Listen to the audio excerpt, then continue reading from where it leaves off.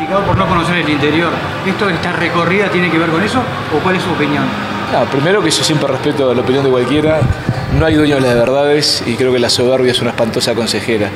De todas formas, eh, ustedes saben bien, yo en el periodo senador, acá en Durazno, eh, y no fue de las ciudades que estuve más, estuve 7, 8 veces.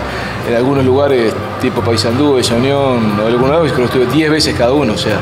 Y la verdad que yo no siento que no me conozcan en el interior.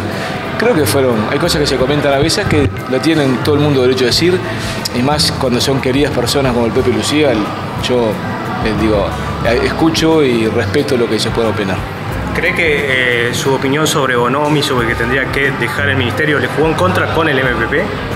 No, yo, yo lo que dije, primero he valorado lo que ha sido la parte de profesionalización del, del trabajo y lo que dije que de repente hay veces que hay ciclos que se cumplen y que bueno, este, si juego en contra, no sé, yo qué sé. Yo traté de ser muy respetuoso y no. Mi intención no es pelearme con nadie ni hablar mal de nadie, este, simplemente decir los puntos de vista y los matices que uno tiene. ¿Qué opinión tiene sobre el tema de Luis Almagro, lo que eh, ha bueno, declarado de alguna manera todo el Frente Amplio y otras suspensiones que han habido como el de la Liga Federal y demás? Bueno, hay algunas cosas estatutarias y, que se cumplen y, si bien la Liga Federal pretendía una sanción menor, este, se tomó esa y bueno, uno el plenario es, soberano. Eh, lo Luis Almagro, eh, obviamente, eh, si se, como aparentemente los, delegados tenían los elementos como para decir que se había realmente dicho la, idea de invadir un país latinoamericano, es obviamente digo, hasta el errarismo, que, que siempre fue anti-intervención, hubiera opinado lo mismo. Este, eh, él salió a decir después decir que no era tan así, no, no puedo opinar, pero, pero bueno, con los elementos que había, el plenario soberanamente decidió.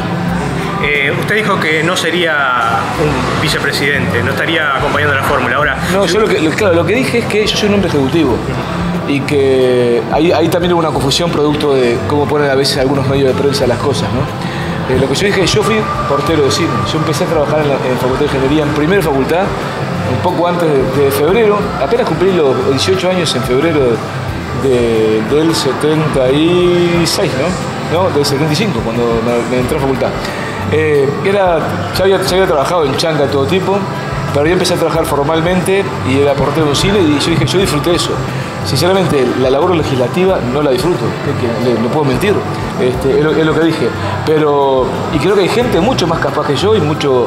Eh, yo igual me voy a, vuelvo a hacer ingeniería, no tengo problema, no, no, no, complico a nadie, ni desprecio ningún trabajo, al revés. Yo tuve el orgullo de ser portero de un cine y fue mi, primer trabajo formal este, con, aporte a caja, digamos, los 18 años. si usted es el candidato, eh, el vice quien lo acompañe, ¿lo va a elegir usted por un tema de afinidad o se va a ah, elegir entre los que vienen? No, yo creo que sí, siempre ha pesado mucho el candidato, siempre ha pesado mucho y buscar complementar que la vicepresidencia, en este caso estoy convencido que tiene que ser una mujer si, si el electo es un hombre, si no, bueno, queda abierto a, ambas posibilidades, eh, por el momento histórico de darle un empuje, de una señal para luchar contra la discriminación más extendida en el tiempo y más generalizada en todas las sociedades que ha sido la del hombre sobre la mujer. Pero en ese caso siempre ha importado el punto de vista de quien sea el candidato electo y, también la complementariedad, que complemente el, perfil de candidato. ¿Se le ofrecería a José? No sé, todavía hay, que ver, falta mucho para eso y todavía no gané yo, así que eh, para eso tengo, tengo que ganar.